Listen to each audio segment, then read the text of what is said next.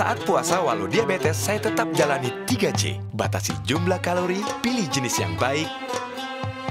Saya minum diabetasol dua kali. Sebelum tidur dan sahur. Selamat berpuasa.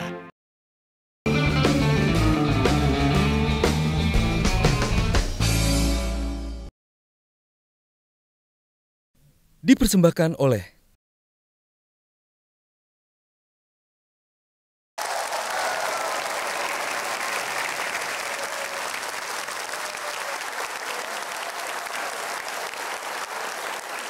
Ya, kalau Anda melihat wajah seorang anak di layar seperti ini, apa yang ada dalam benak Anda? Apa yang ada di dalam pikiran Anda? Tentu Anda akan bertanya-tanya, apa yang terjadi pada anak tersebut? Namanya Odilia, usia 9 tahun. Odilia terkena penyakit yang bisa dibilang langka. Tapi tentu kita ingin tahu penyakit apakah itu.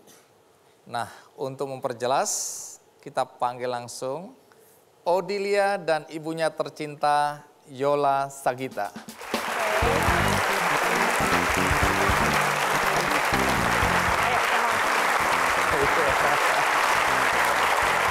Yola, makasih. Odelia malu ya? Iya, malu. Iya, nggak apa-apa. Silakan duduk. Iya. Baik, Yola bisa cerita. Odilia ini kena penyakit langka. Apa nama penyakitnya? Richard Collins Syndrome atau TCS. Bisa jelaskan secara sederhana aja. Ini apa? Richard Collins Syndrome, dia memiliki wajah yang sangat khas, eh, seperti Odil ini ya. Dari kecil sudah langsung terlihat? Atau baru terlihat setelah dia sudah mulai Jadi memang waktu itu kita nggak tahu juga sih ya, karena memang nggak mengerti gitu. Eh, mungkin karena kita sebagai orang tua sering lihat wajahnya, jadi wajahnya seperti biasa aja gitu ya. aja. Tapi mungkin kalau orang lain melihat, oh ada yang berbeda gitu, gitu sih Bang Endi.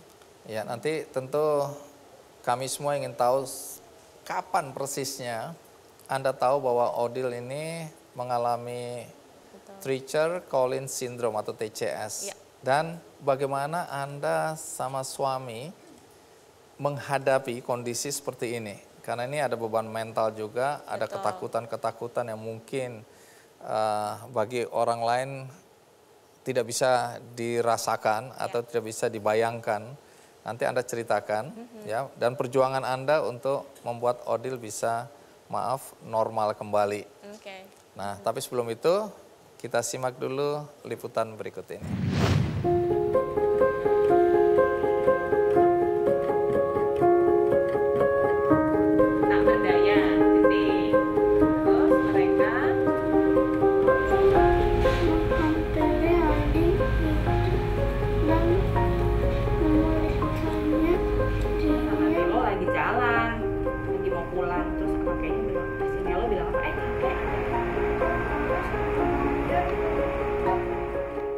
Ada saja cara Tuhan menguji kualitas cinta orang tua kepada anaknya. Yola Sagia menjadi salah satunya.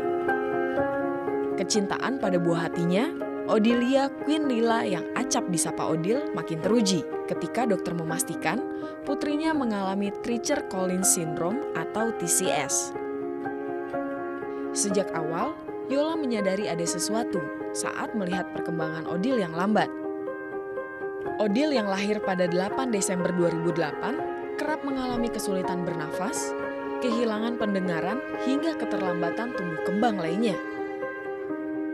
Saat Odil berusia 6 tahun, Yola baru mengetahui bahwa Odil menderita TCS, sebuah penyakit langka yang menyerang pertumbuhan kepala.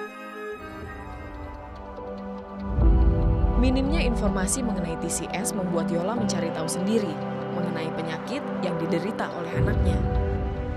Dari sinilah, pandangan Yola mulai terbuka mengenai penyakit yang diderita Odil.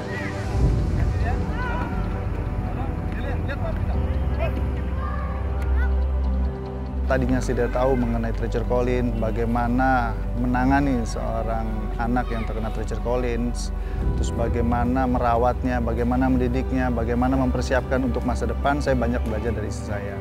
Jadi saya kuat karena memang istri saya seorang yang memang memberikan satu kekuatan buat saya. Selain itu juga saya juga percaya bahwa Tuhan memberikan satu uh, masalah kepada saya uh, tidak mungkin di luar kemampuan saya.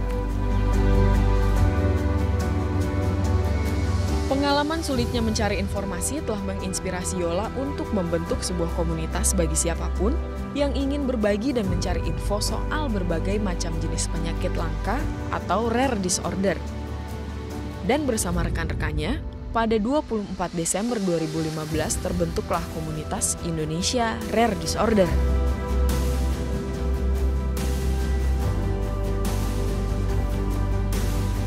Yola menyadari jika ingin menyembuhkan Odil, ia harus sembuh dari amarah dan berdamai dengan dirinya sendiri.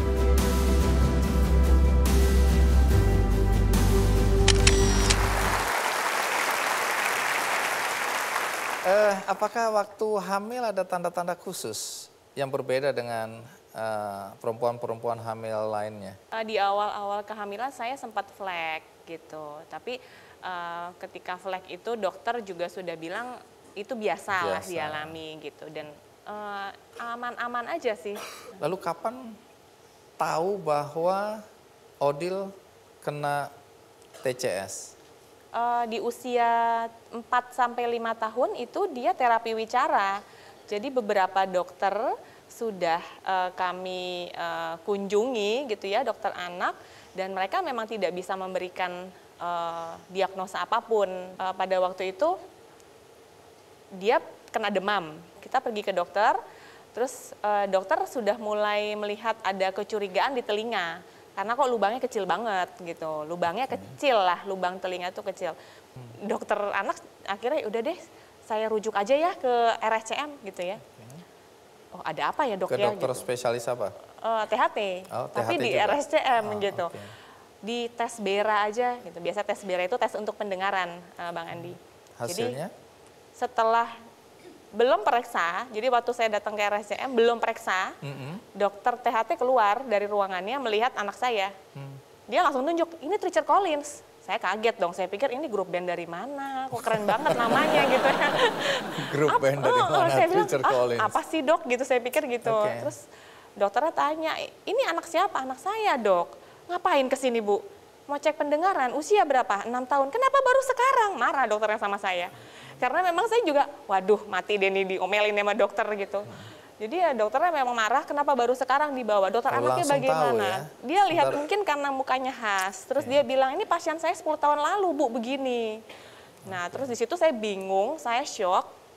Dan eh, waktu itu kebetulan suami saya juga ada di luar kota kan. Jadi saya cuma berdua sama dia cek. Itu saya sampai kaget, saya tanya sama dokternya itu apa dok? Dokternya, ibu sudah siap saya cerita. Iya saya siap, mau nggak mau saya siap gitu.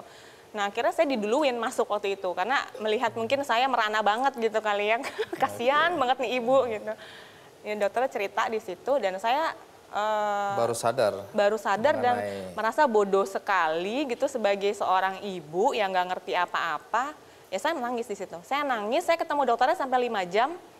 Saya nangis doang isinya di situ. Dan saya bilang, dok saya Jadi udah lima nggak jam tahan. waktu Anda menangis itu Iya, ya? saya bilang sama dokter, Pasien lain udah pulang itu ya? oh, udah pulang. Kayaknya udah, di, udah, di, udah disuruh pulang.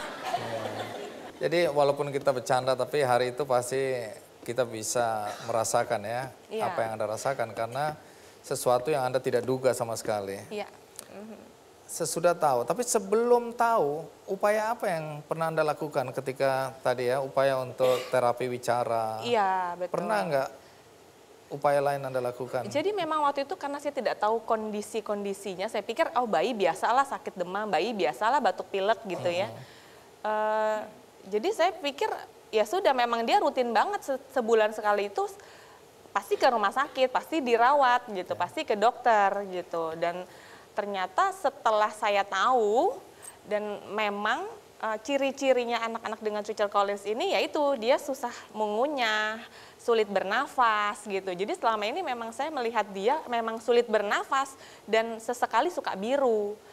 biru wajahnya, biru bibirnya. Oh, bibirnya. Aha, jadi itu dia mengalami kekurangan oksigen gitu. betul dan itu eh, saya pikir ya itu awalnya saya pikir oh ya sudah biasa kita bawa ke dokter gitu ya tapi dokter juga nggak ada oh ya udah biasa bu ini nggak masalah gitu Anda lima jam nangis ya setelah Ya. tahu.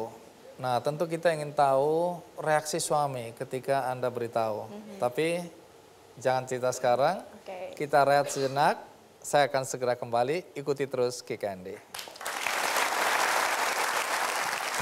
Bagaimana reaksi suami ketika disampaikan bahwa Odil ternyata kena TCS? Dipersembahkan oleh